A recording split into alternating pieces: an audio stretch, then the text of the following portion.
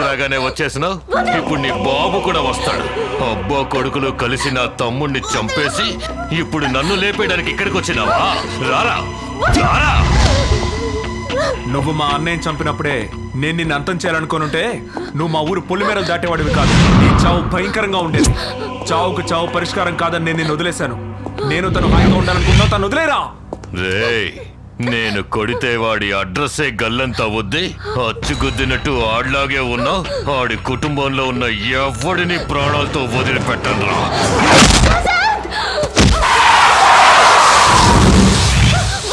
రేయ్ ఆడిని నరికి పోగులు పెట్టేయండి రా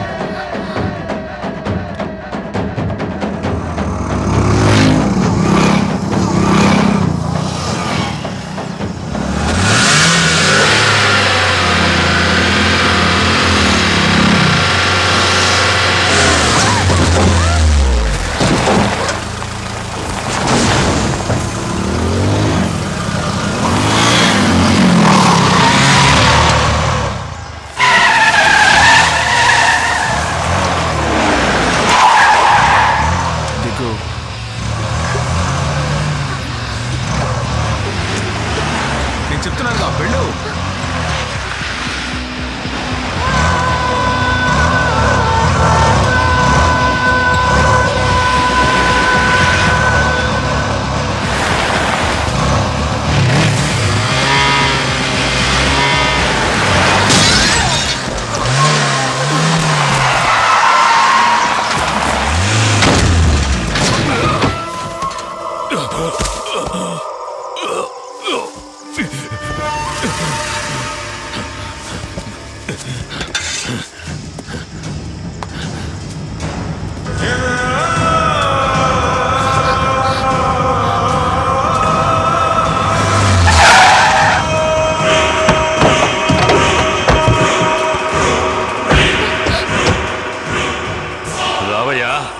రా. నీ పెద్ద కొడుకు చావు నెలగో కళ్ళార చూడలేకపోయావు. కనీసం నీ చిన్న కొడుకు చావైన దగ్గరుండి చూడు.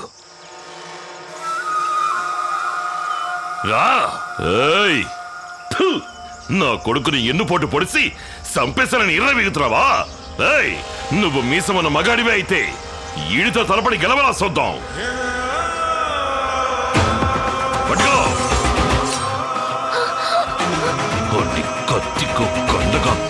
నరికి పోరైనా నీకు నీ తండ్రికి ఇక్కడే సమాధి కడతాను. ఈడి శవాన్ని తీసుకుపోయి మీ అన్న పాదాల దగ్గర పొడసాలరా.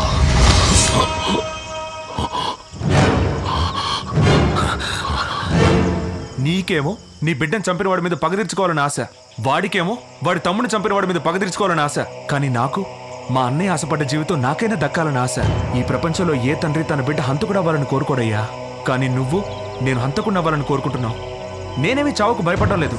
కానీ ప్రతిదానికి ఒకరినొకరు నరుక్కోవడం జీవితం కాదయ్యా. నిజమైన జీవితం అంటే వేరు. అది మేము జీవించాలని ఆశపడుతున్నాం. ఇలా చూడు నువ్వు మొండి పట్టుదలకపోయి అన్నయ్య జీవితాన్ని అన్యాయంగా నాశనం చేశావు. నీ కొడుకుల్ని సరిగ్గా పెంచలేని నువ్వు నీ మనవాళ్ళని ఎలా సక్రమంగా పెంచగలవు? నువ్వు మారాలని నీ మనస్ఫూర్తిగా అనుకుంటే చాలు. మేమే నిన్ను వెతుక్కుంటూ వస్తాం.